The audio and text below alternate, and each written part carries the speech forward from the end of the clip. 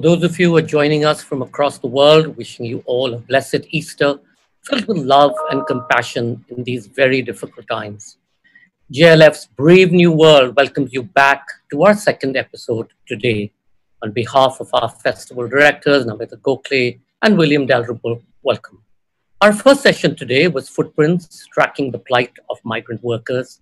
Uh, Chinmay Tumbe and journalist author Saba Naqvi joined us in a fascinating deep dive to track the plight of migrant communities, citizens of India, and discuss the disruptions to labor markets and livelihoods. In case you missed it, you can watch it and our earlier episodes on our Facebook page, JLF Litfest, or on YouTube channel JPR Litfest. This session, we have The Boundary. Jhumpa Lahiri in conversation with Chiki Sarkar. Jhumpa Lahiri, winner of the Pulitzer Prize for Fiction and one of the Indian diaspora's best known writers, talks polylingual literature in a time of pandemics alongside publisher Chiki Sarkar. Jhumpa Lahiri is a penguin author of four works of fiction, interpreter of Maladies, The Namesake, which was adapted into a feature film by Mira Nair, Unaccustomed Earth, and more recently, The Lowland, a recipient of the Pulitzer Prize, a PEN Hemingway Award, the Frank O'Connor International Short Story Award, and a Guggenheim Fellowship. She was inducted into the American Academy of Arts and Letters in 2012. Jhumpa Lahiri, welcome, and Jhumpa joins us all the way from New York. And we hope you're safe, Jhumpa, in Princeton, actually, in New Jersey. Welcome. Chiki Sarkar, Chiki Sarkar is co-founder and publisher at Juggernaut Books. Sarkar's company is India's first publisher to have its own app for the smartphone, which creates a reading experience for users. Juggernaut authors include Twinkle Khanna, Nobel Prize winners Abhijit Banerjee and Esther Duflo, best-selling nutritionist Rujuta uh, Diwekar, Tony Joseph, JCB Prize winner Benyamin, and of course, William Dalrymple. Ladies and gentlemen, please remember if you wish to comment and ask questions, you may do so by typing it in the comment section. Do follow our handles, JLF Litfest on Facebook, Twitter, and Instagram to get notified on our coming sessions and the series. In case any of you get dropped off or have a bandwidth, you can rejoin us on YouTube channel JPR Litfest. Bandwidth is an issue. We may sometimes lose our speakers, but hang in there. We hope they will be able to log back on. Uh, thank you, Jhumpa Lahiri and Chiki Sarkar. Over to both of you. Um, this is a, I'm so excited about this conversation and to have this conversation with you, Jhumpa. It's been a while, and you're sitting in your library in Princeton in your study, um, and you're in Princeton because you now have another new alter ego. You're uh, you uh, are a director of the creative writing program in Princeton. Uh, and what's that like um, as you sit there in, in an empty campus uh, and with all the students sort of now sent off home?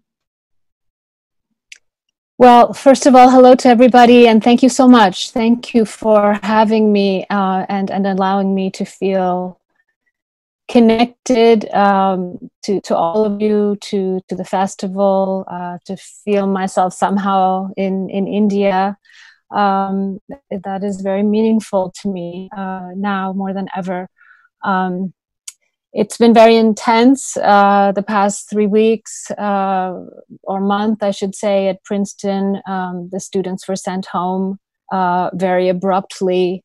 Um, I taught my last class um, in person class. It's been over a month, and um, the campus is completely deserted. Um, the libraries are closed. Everything is closed, and, um, and but the teaching goes on. Um, so we're we're engaged. You know, we're engaged with our with our semester. We're seeing it through to the end. Uh, but but none of the the rhythm has been completely shattered and suspended, right? The normal and you, rhythms. You know, I mean, you in this new life as a as a teacher. I mean, you've always been you've been a writer now as as you know all through your from your twenties, if not earlier. But What's it like to be a teacher? What's it like to teach writing uh, to bright young things? Is it something you enjoy? I, I, I try to put most of my energy into teaching reading uh, and to, to learn to read with passion because that is what made me a writer.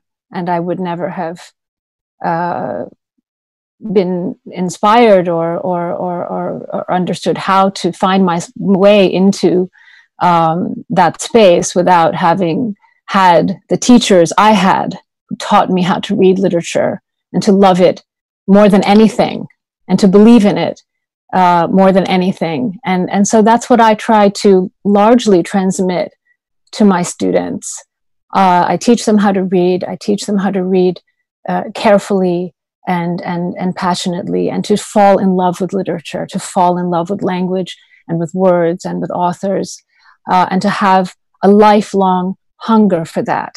Um, and, and in that sense, I feel more than ever uh, the urgency to, to, to teach my classes online and to share um, with my students um, what what I think why it, why it's important to read um, Primo Levi right now, why it's important to read uh, Beckett or Dante or whomever is on the reading list for this semester, um, and and I think that the students are are are are able to understand with with such uh, sort of a painful um, relevance. You know, uh, a month ago I was teaching a class. I'm teaching a class right now on the Italian short story, and I had invited a friend of mine, uh, the Italian writer Giorgio Van Straten, to come to class to talk about the experience of World War II and the impact of World War II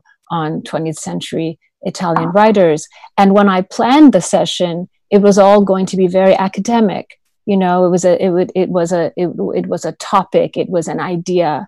Um, now my students and I understand that what we were talking about a month ago, in some sense, has become uh, something we are living. You know that that that sense of uh, global trauma, of of an interruption, enormous interruption of life and our ways of of of loss of life, of suffering, of hardship. Um, it's it's not the same at all as um, the violence of war. It's it's a completely different kind of emergency we are going through. Uh, but at the same time, this is going to be this is going to mark a generation, right? It's going to mark a generation of young people, and there is no way around that. And I think literature remains the the best way, the the key, um, the most um, inspiring key, if you will, uh, to be able to to understand, to decode, and to endure what is happening. And of course, the the, the teaching uh, led you to uh, a wonderful book that you've sort of re- relatively recently published, the Penguin Book of Italian Short Stories that you edited, and it came out of of of you introducing a bunch of these Italian stories to your students, didn't it? It did. It did. The book grew out of uh, grew out of my teaching, grew out of my my teaching at Princeton, and my desire to um, share my my new, relatively newborn uh, love and and and and curiosity and passion for uh, for Italian literature. And talk to me a little bit about this because it's this this love that you have. I mean, it's it's extraordinary in so many ways, and we will unpack it. I mean, the one, the most extraordinary thing, of course, is that you're now you you almost wholly write in Italian. Um, I, I, don't think you've and, and and the pieces of writing that the English speaking world are seeing are translations from the Italian into English by you. In New Yorker short story that was out recently, for example. Um, and um, so it's it's it's you I, I, you also i remember in your last essays you talked about how you really just began to only read italian. You didn't read you stopped reading english books. Is that still the case? You're just primarily reading in italian and writing wholly in italian? Um, pretty much. I mean, I teach I teach in in America, and I teach uh, most of my courses in in English. Not all. Um, I teach some of my classes in, in Italian um, as well, uh, or part of my classes in Italian. Um, so it's sort of a mix. Um, but I've I've I've more or less uh, maintained um, a, a, certain discipline. Um, right now, I'm reading. You know, I, I, just started reading Dracula in English, um, but I just finished um, The Betrothed, I Promessi Sposi by Manzoni in Italian.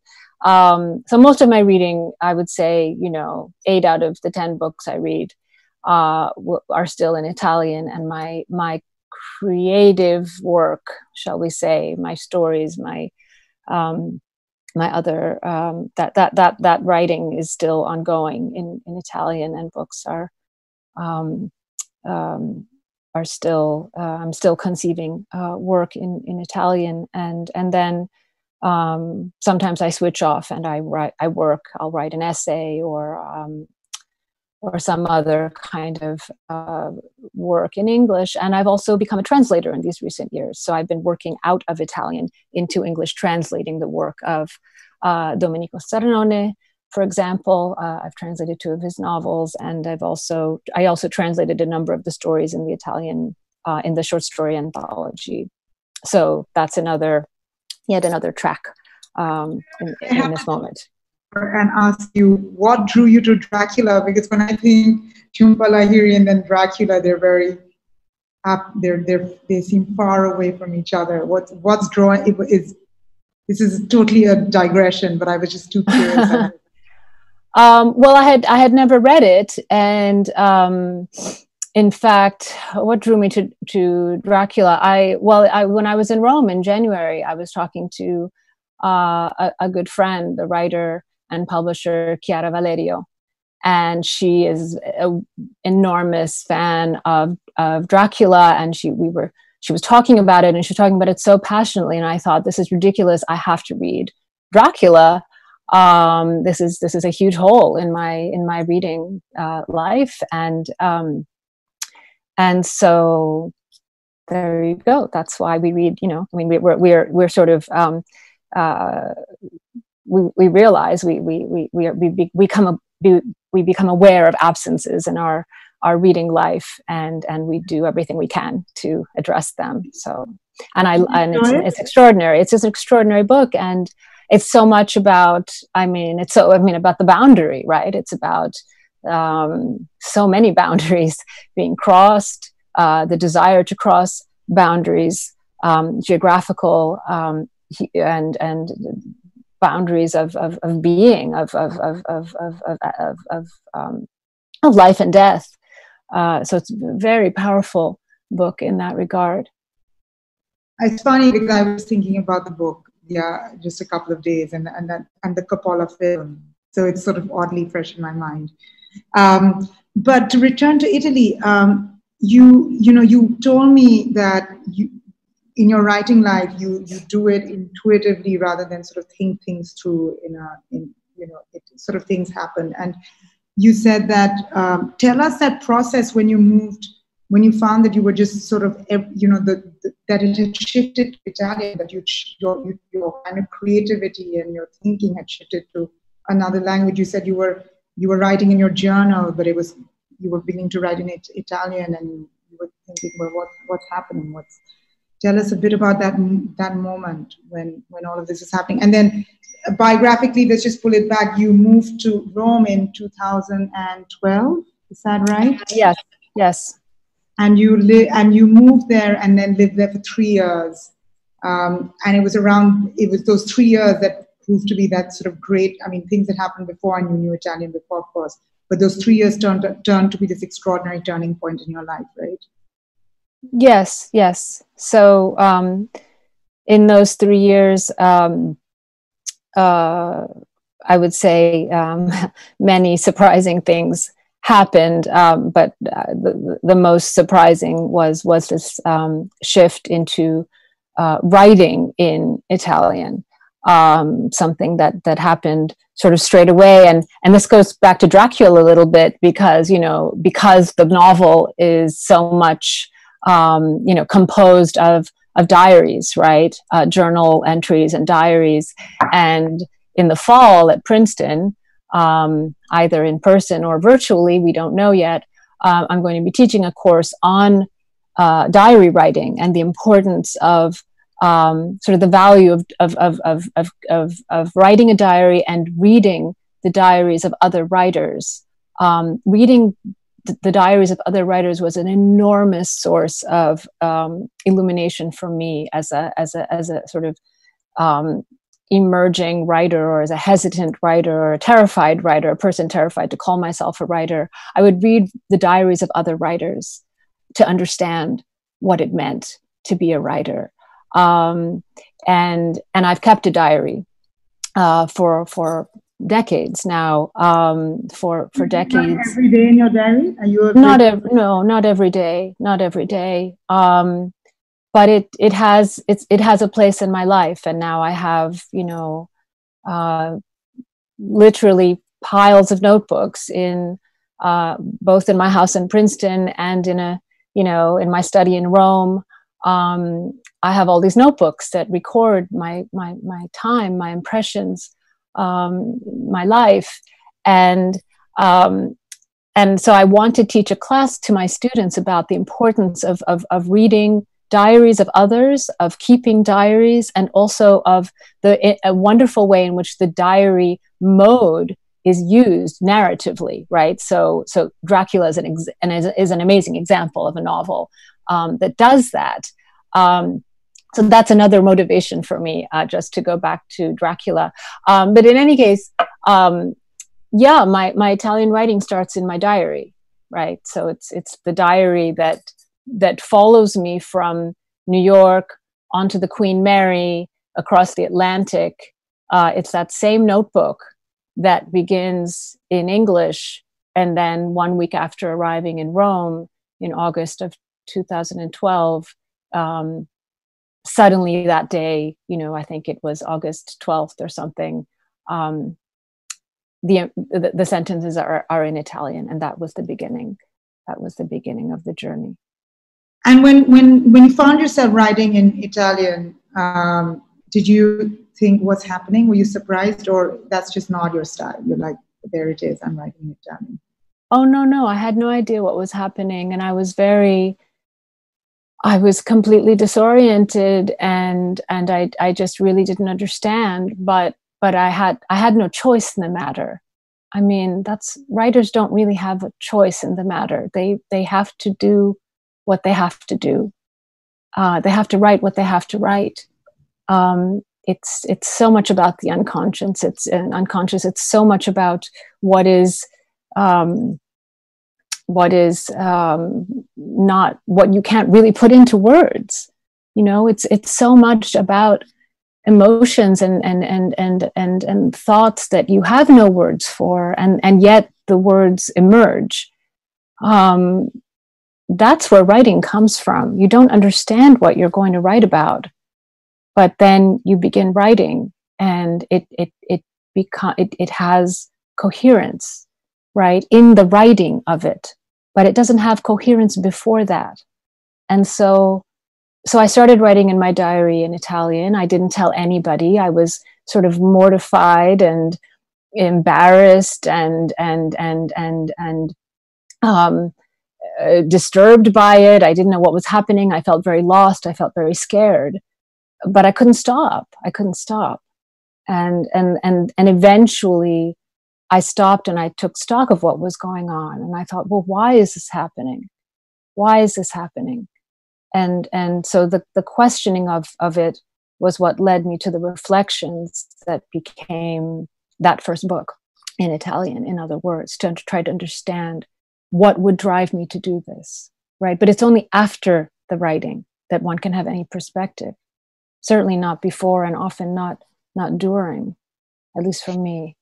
And it's, I mean, you said something to me the other day, which I was just so struck by. You said all that, you know, when you're sitting in Princeton, you do your translation work or, um, you know, the introduction to something, kind of review or whatever it is. But the creative work, uh, the poetry, the novels, the short stories all now happen when you're in your home in Rome. Uh, as if in some ways, you know, I mean, it's extraordinary. It's like your life, your mind, your psyche has bifurcated. It has this, you know, these two worlds completely. I mean, it's to me that's just you know amazing. I mean that that that you're kind of embracing this and you go through this and and and you also sort of said to me that you you're now completely immersed in literary life in Italy. You know, you're on the board of a literary magazine. Um, you write regularly in their papers. Uh, do you do you feel in a way that you're more involved and you're more immersed in literary life in Italy than you ever were while you were in, in, in the States? I mean, is, is there a Jhumpa? Is, you know, I mean, I don't mean humanly. I mean, I'm sure there is, but I just even mean as the the writer, the literary writer, because I've always, as long as I've known you, I've known you uh, as your as a publisher and editor. I've known you as someone who's very private, who didn't like speaking about her writing very much. You didn't like readings. You you really, you know, once the book had come out, you wanted to step back inside. You feel much more uh, out of your shell now in Italy. Have I got that right? Um, in, in some sense, in some sense, yes. Uh, I, I, mean, it's a much smaller world, right? Um, it's a smaller literary community.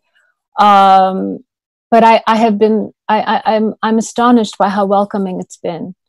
I'm astonished by uh, how much a part of that community I've been made to feel uh, in these recent years, and I think it represents the best of Italy. Uh, every country has its problems. Every country has um, its its its um, its issues, right? And and and its hostilities and its ways of of of putting up walls and and not welcoming the other. Um, and Italy is not free of that. Um, in fact, there it's it's very complicated right now by by these questions, and I I look at them very carefully. I think about them very deeply. I think about what it means. Um, all all of the questions I've been thinking about all my life about identity and belonging and and the foreigner and integrating and or not. You know, these are the questions that have shaped my life. I'm the daughter of immigrants. So I have never been free of these questions. I have always been examining these questions, whether in the United States, uh, sort of based on my own upbringing, or whether it's stories I've heard about from my, my parents about their lives in Kolkata and about huge migration waves and shifts and communities transforming. You know, I mean, the lowland grows out of that, grows out of listening to my father talk about that experience of what happens after partition, talking about the upheaval and the movement of people and the and the walls that go up, right? Um, and and and the people who are struggling to find a place um, to live their lives uh, and to be safe. Um, all of these questions that we are now, you know, again examining. Um, but but to go back to Italy, yes, I mean, in spite of the the, the issues that are happening there, uh, the crisis, the migrants, etc., etc.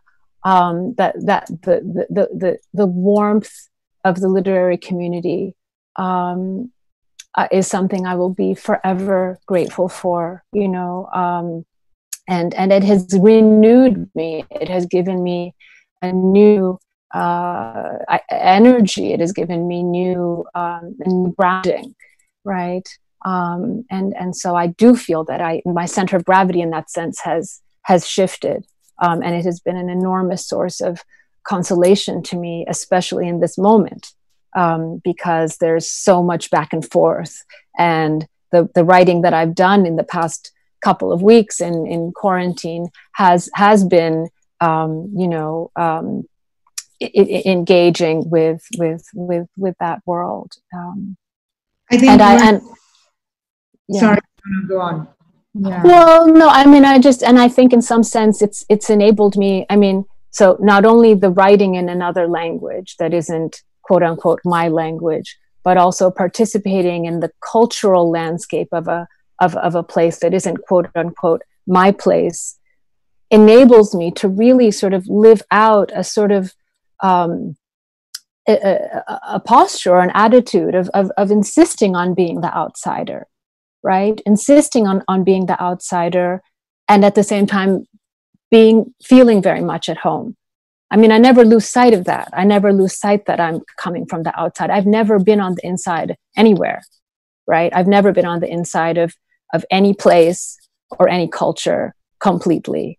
Um, and now I think with the Italian uh, experience, I'm insisting on that. I'm insisting on the very condition that gave me so much, um, that caused so much confusion and distress as I was growing up, right? And now in my adult life, I feel that no, I'm actually going to embrace this. I'm going to insist on it. Yeah. So you've in a way made yourself a kind of immigrant. If I may say so, I'm not sure in this, in this, and I want to, I what I, I'm not sure I'll be able to say it right, so I'm going to keep it short. But I want to turn it back one last question: Is Chiki, can you write? Can you write your question? I'm not able to hear you. Yes. The question is. Um, can you hear me now? Mm-hmm, I can hear you. Yeah, I can hear you now. Um, I was beginning to ramble into something, a complicated question, and then our conversation is sort of time's up. So I'm going to pull myself back and maybe I'll email you the complicated question. So, but I'll ask you a simpler question to end with. I had so many questions to ask you, but anyway, but this one I, I just think all the people who are listening to you would like to know is that there's been a novel. The novel is in Italian. You've translated it. Uh, the English uh, translation comes out next year. Um, your first novel in Italian. You've done poetry. You've done essays. Uh, you've done short stories. This is this is the first novel, isn't it? Yes, it's a it's um it's a, it's a novel. Um, it's a it's um it's an experimental for me uh, a different kind of novel. Um, it doesn't really resemble um, anything I've written before, but at the same time, it's to me, it's it's a it's a natural consequence of everything that's come before, and the questions at the heart of this story um, are uh, in a distilled form, looking at questions of um, of of of of belonging and of place, right? Those those two questions that have been um, that I've been examining now for you know across all the books um and but it's it's but but it's it's it, it, it's a novel with a completely different sensibility um, written in another in another language and therefore written with a you know in some sense with another with a, with another brain right? With another um, uh, completely different um, coming out of a different completely different part of me uh, because a new language gives you a new way of looking at everything. Um, because language in some sense is is your reality right? Uh, depending on whatever language it is. Um, you're a, you're almost a writer and a translator at the same time. In what do you mean? Well I, i'm a writer and i am a translator and, and now i've become a, a translator of myself. Um, what i mean the, is you know there's you all through this time you've been talking about this process where there's like it's like making a bridge between that in your mind i mean there's so so you know and when you write in italian the story becomes different the voice becomes different. Um, there's it's as if uh, there's an uh, there's an english language you and an italian you. Is that even and even with the novel you know one of the things saying different I can't. I can't hear your question anymore. Um, this is a very, very good place for me to just start on the audience questions. So, okay. Jhumpa, I'm not gonna uh, bother my convoluted questions and just give you the audience questions. So, okay. Aditi Gore asks, are you going to write a book using as a backdrop the uncertainty that is the future, given that no one has a clue about the virus? Are you going to write a coronavirus novel? I, I, I can't. I can't answer that question. Uh, the, those the, the answer would be uh, a diplomatic, maybe. Who knows? Um, um, I don't have one planned. No. Ankur Sharma asks, "How do you research your own family, and how hard is it to write those stories down?" Well, um, I mean, it depends on the on the book. Um, I mean, some of the former books have required greater a greater degree of research, right? So with, with the lowland, um, I, I consciously uh, conducted some research for that book, and I spoke to people. I went out of my way. I felt that I had to um, have some have a better idea from a from a variety of sources, n- uh, not just people in my family, um, about um, the Naxalite movement, for example. Um, something I had always known about, but but in a very informal uh, and and incomplete um, way. Uh, other other stories, um, you know, it's not really research. It's just it's just living and being with people and listening to them. So much of writing is just listening if you, if you just listen to people and, and, and watch them carefully, you learn so much about them. And so many of my stories just come out of that.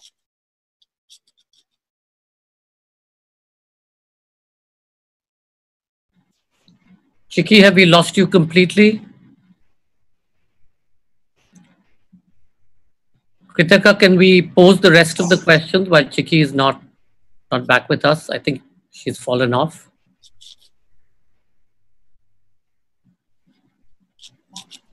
Jhumpa, before Chiki left, she was asking you a question about uh, the English side of you or the Italian side of you, and how do you how do you see that, uh, and do they sort of conflict when you're writing?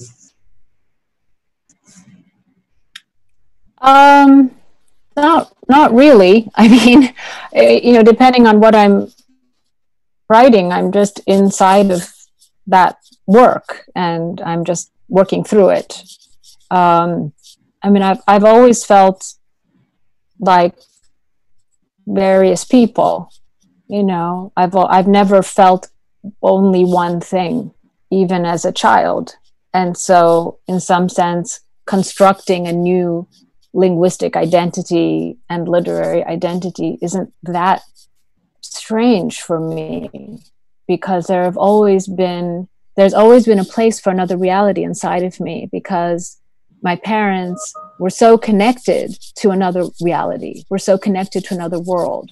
And and in some sense um, to another language right? Especially to another language. Um, and, and, and I think about that a lot. I think a lot about my, my childhood right now in the time of this quarantine and, and the lockdown, the sort of global lockdown that we're experiencing, because we are so spoiled now, right? In some sense, we're so spoiled by the ability to move around so frequently, and if not to move around literally, to connect um, in good ways, right? I mean, this conversation is proof of that um, the ability to connect, to see one another. You know, my childhood was marked by by by two things in my memory. It was marked by distance and by silence. I felt so keenly the distance that that that that was and that is between the United States and India. I felt it in my body uh, and even though India was not even my place, right? It wasn't where I, it was always a, a, a place I would go to. It wasn't the place I had come from. But I felt that distance and I felt the silence. I felt the lack of the phone calls, the infrequency of the letters uh, that my parents would receive. Uh, the, the quiet, you know, the lack of the language that they knew that that was no longer surrounding us if, if we left the house. And, and i think that in some sense there's an echo of that right now in the world because we all the planes are stopped right? Almost all the we're all still and there's a lot of silence and there's a lot of uncertainty. Um, and and at the same time it is filled with the phones and the messages and the Zoom and the and the WhatsApp. And and that's been an incredible empowering thing, and thank goodness for that.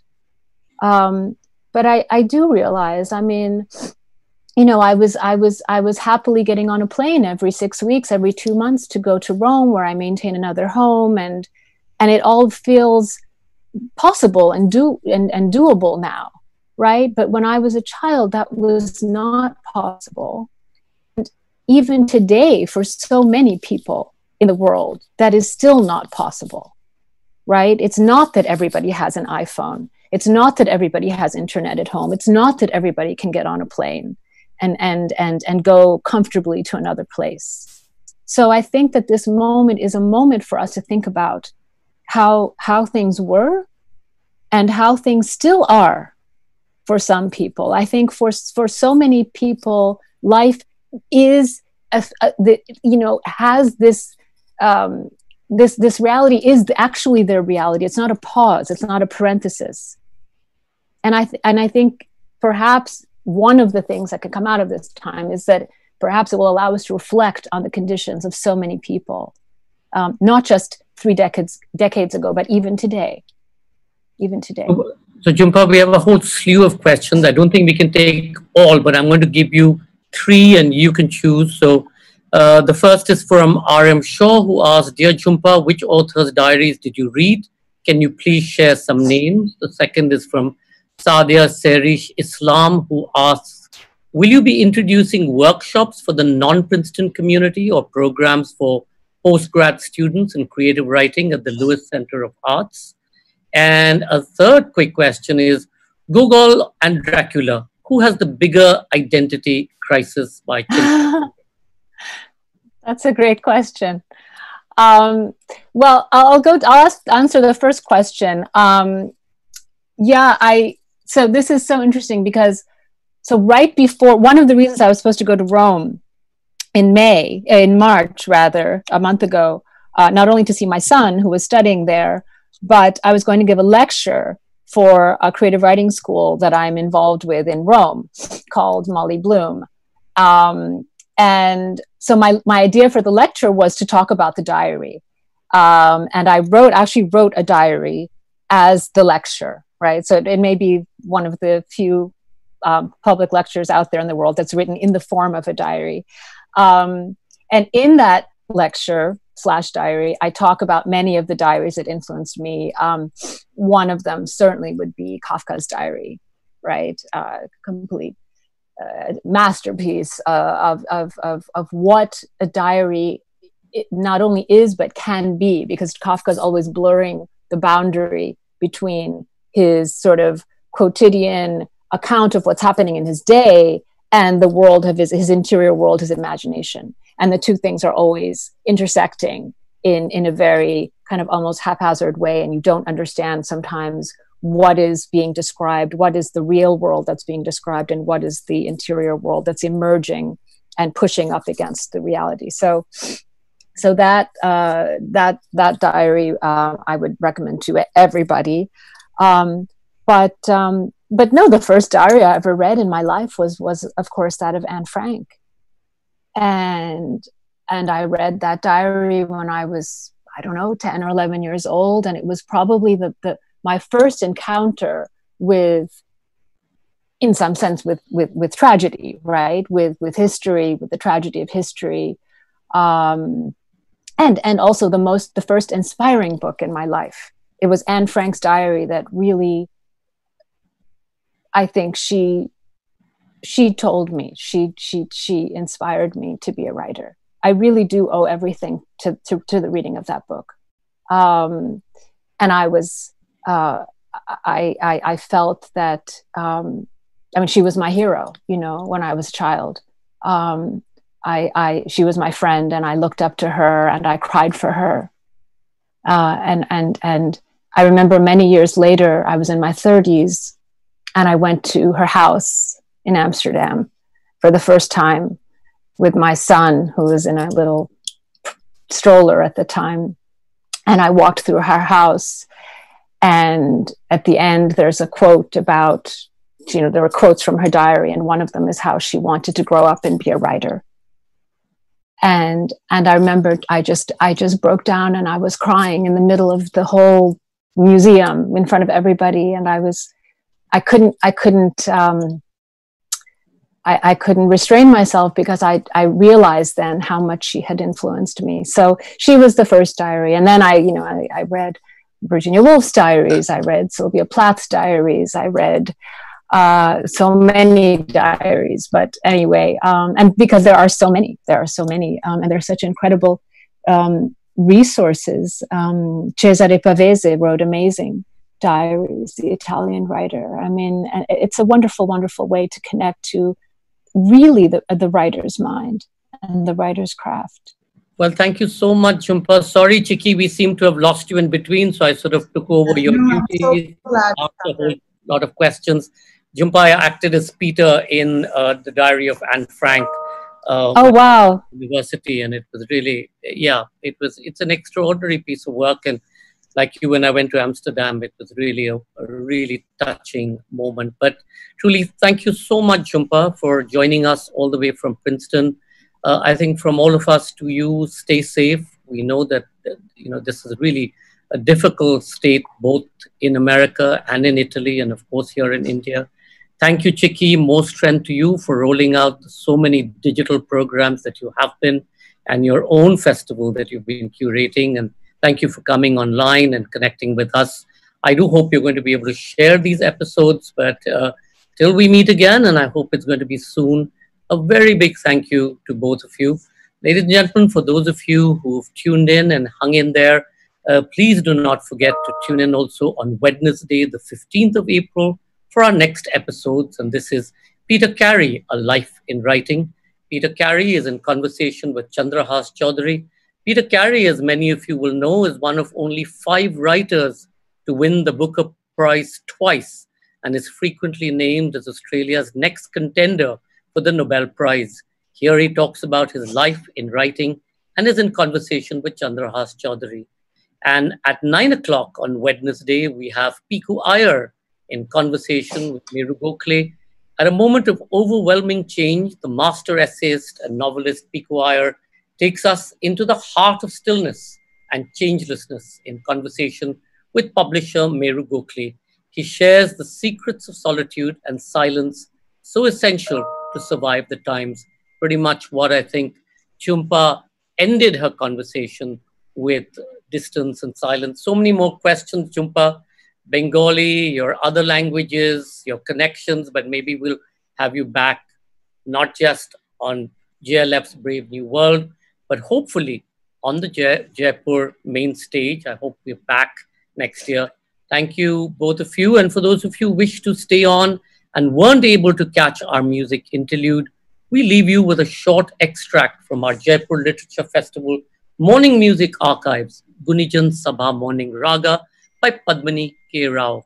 Padmini, Padmini Rao is an accomplished exponent of the Kirana Gharana form of North Indian classical music. She is one of the senior most disciples of Padma Bhushan, Dr. Prabha, and trained in sitar from Pramila Thagar. Ladies and gentlemen, have a wonderful rest of the evening or rest of the day, wherever you may be. Stay safe, stay compassionate.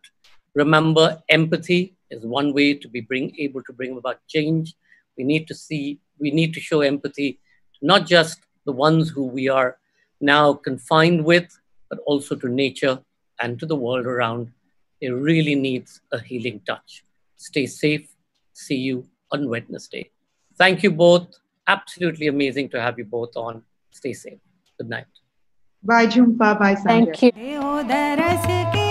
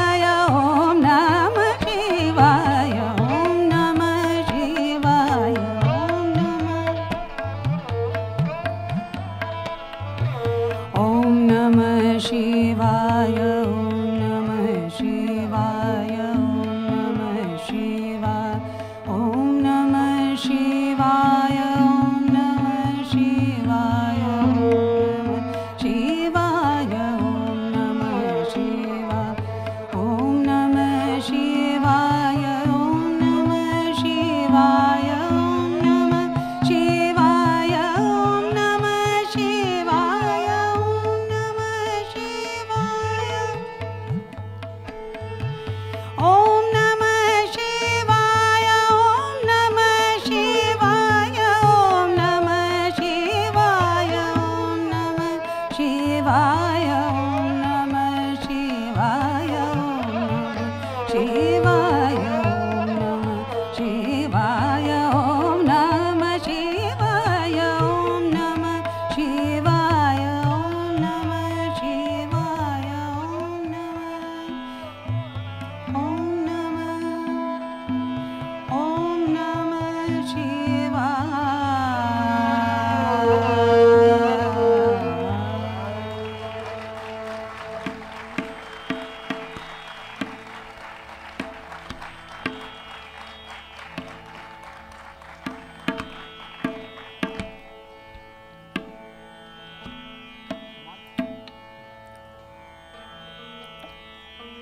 Before I conclude with a Mira composition in Rag Khamaj,